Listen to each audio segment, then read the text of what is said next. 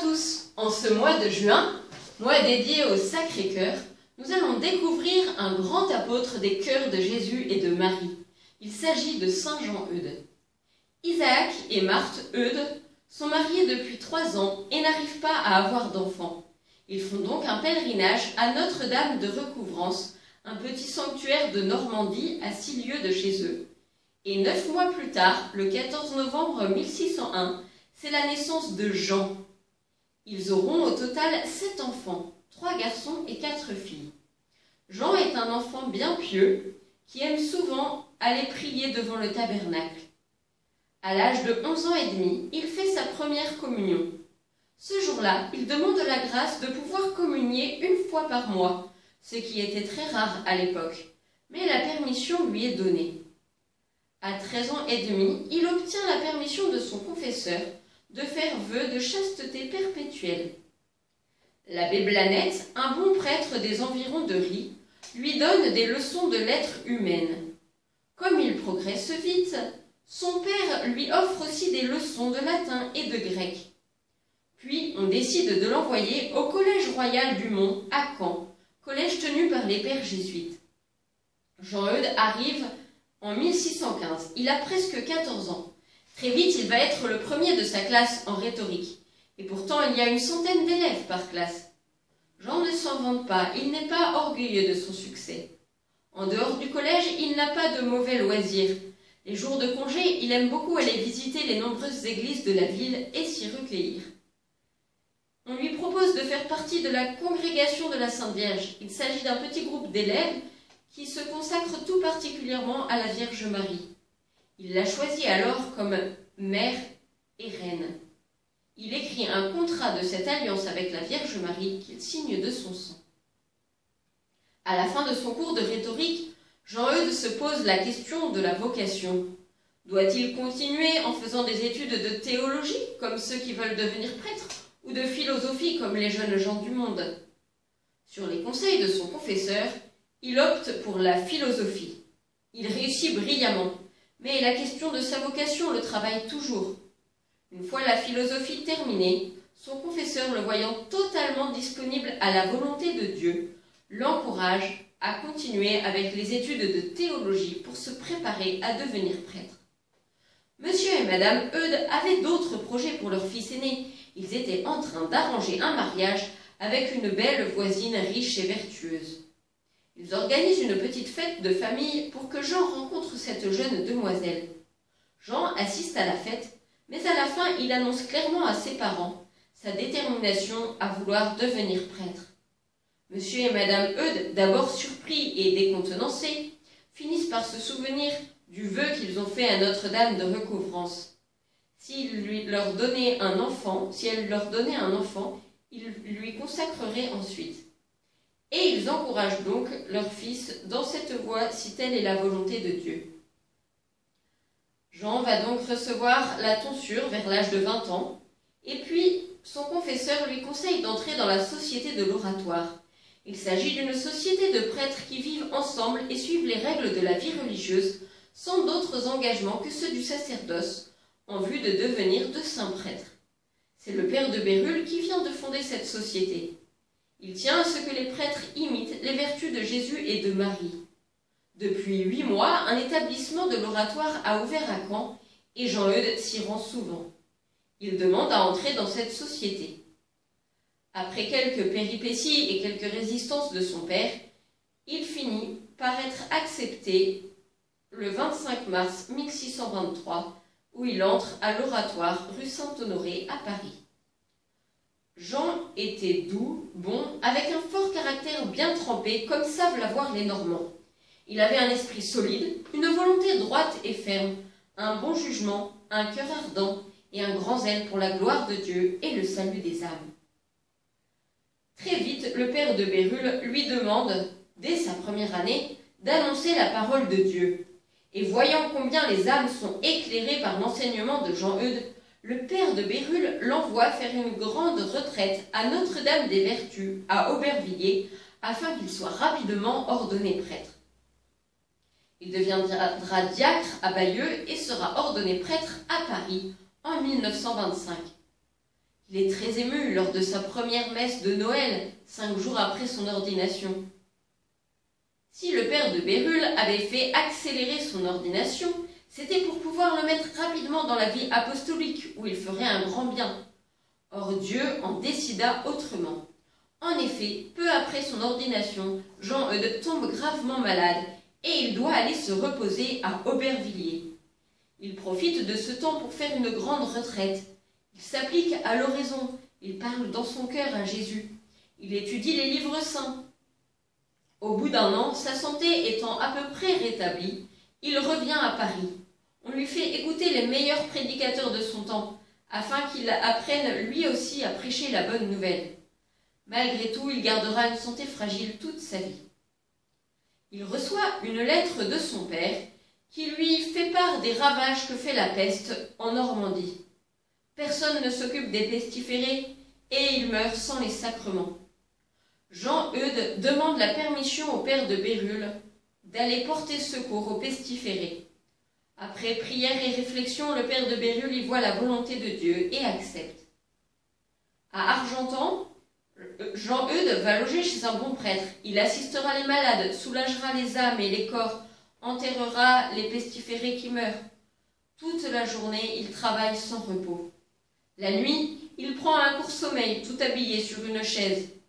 Puis il fait oraison, prie et célèbre sa messe. Il conseille aux habitants de consacrer leur vie à Marie par un vœu public et solennel et cela va arrêter le fléau de la peste. Le cardinal de Bérulle, car le père de Bérulle est devenu cardinal, l'envoie alors à Caen pour la mission. Pendant quatre ans, il va se former en étudiant beaucoup l'écriture sainte, la théologie. Il a une grande doctrine et une grande piété. Mais au printemps 1631, la peste éclate à Caen. De toutes parts, on fuit pour aller à la campagne. Les malades n'ont aucun, secours temporel et spirituel. Alors, Jean-Eudes demande la permission de refaire ce qu'il a vécu à Argentan, et cela lui est accordé. On met à sa disposition un tonneau de cidre dans, un, dans une prairie pour qu'il puisse y faire sa cellule. Ainsi, il ne risque pas de contaminer ses frères de l'oratoire. Chaque soir, il revient dans ce tonneau pour prendre un peu de nourriture, un peu de repos et surtout pour prier de longues heures. Malheureusement, son supérieur de l'oratoire va attraper la peste et mourir entre les bras de Jean-Eudes. Jean-Eudes, se souvenant de son expérience d'Argentan, va faire placer des statuettes de la Sainte Vierge à toutes les portes de la ville et va demander aux canets de la mettre à l'honneur dans leur maison. Petit à petit, la peste va cesser ses ravages. Épuisé, Jean-Eudes rentre alors à l'oratoire. À peine de retour, il tombe gravement malade et se retrouve aux portes de la mort. Il est miraculeusement sauvé grâce aux nombreuses prières qui sont faites pour lui. Il peut alors reprendre ses travaux antérieurs. Les guerres de religion, le protestantisme, tout cela a fait en France de grands ravages, et le peuple français est dans une grande ignorance et une grande corruption. Le peuple, mais aussi le clergé, c'est-à-dire les prêtres. C'est la décadence. Certains prêtres ne savent même pas la formule de l'absolution, alors ils se contentent de dire un Ave Maria. La France, et notamment la Normandie, a besoin de missions, avec des missionnaires, car la foi est, bien faible et les mœurs sont fort dépravées. Jean-Eudes commence à accompagner des prêtres de l'oratoire pour ses premières missions. Mais bientôt, il a tant d'éloquence et il réussit si bien à conquérir les âmes pour la sainteté qu'on le choisit lui-même pour prêcher les missions. Ses supérieurs le nomment chef de toutes les missions de Normandie. Il va ainsi évangéliser Saint-Sauveur-le-Vicomte, Cherbourg, Évrecy, Ouistreham, Cancale et Saint-Malo en Bretagne, Lisieux, Pont-Audemer, Pont-l'Évêque, Coutances, Saint-Lô et bien d'autres villes encore. Ces trois plus grandes missions sont celles dans l'église Saint-Étienne à Caen, dans l'église Saint-Pierre à Caen et à Rouen il réussit à réconcilier les âmes avec le bon Dieu. Ces missions duraient au moins six semaines, parfois plusieurs mois.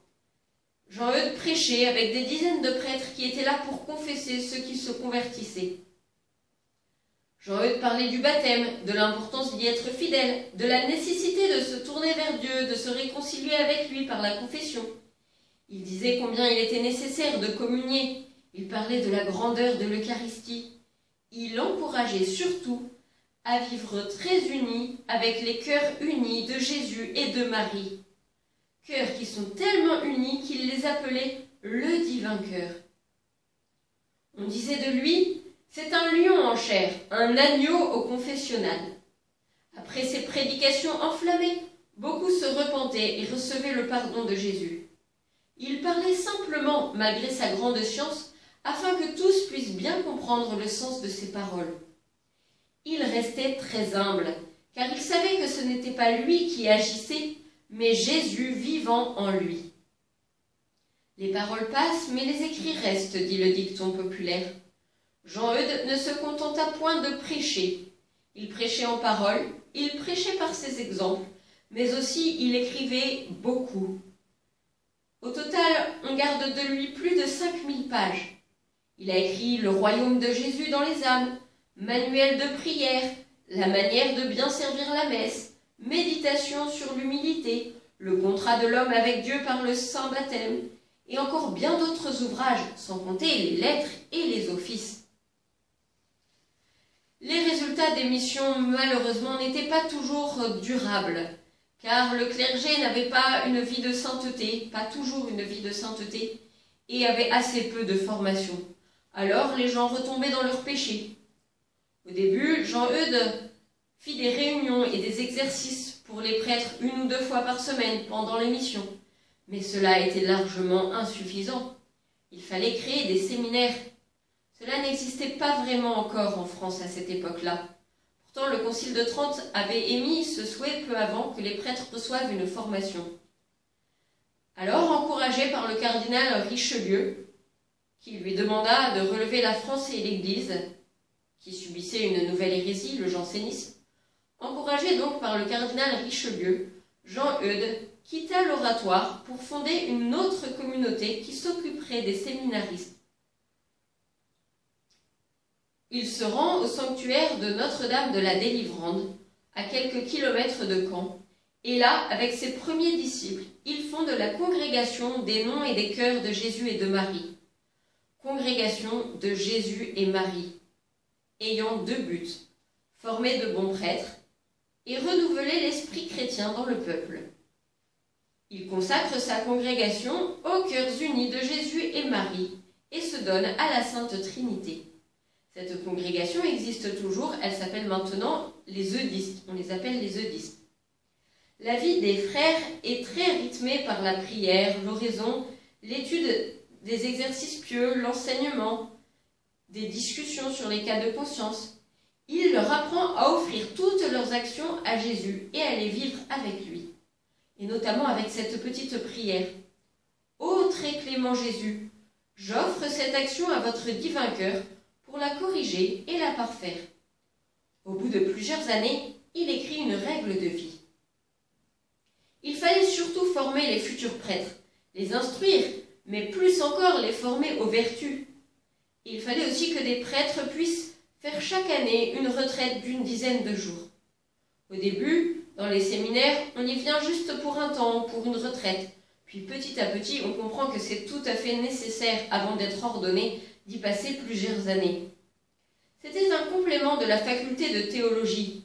On leur apprenait la liturgie, la morale, la manière de confesser et de prêcher, le plein chant, la façon de faire le catéchisme, l'écriture sainte, comment prier le bréviaire et comment faire oraison. Il leur apprenait aussi le silence, la bonne tenue, le langage adéquat pour un prêtre, la façon de se vêtir et de se divertir sainement, et de pratiquer les mortifications. Jean-Eudes forma des prêtres de sa congrégation pour qu'ils puissent s'occuper des, des séminaristes.